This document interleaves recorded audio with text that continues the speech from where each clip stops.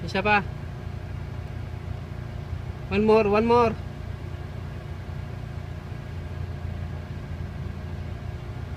Oh, yan.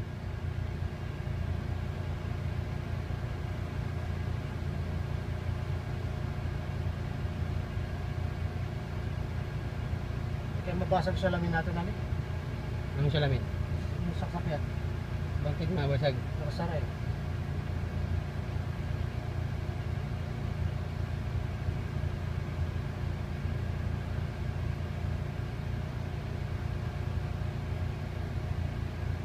Isa pa. Mas mahaba pa yun doon sa mga tangke, ano? Oo. Yung sa tangke, maliit eh. Oo. Oo, laki na, ang mahaba ng baran. eh.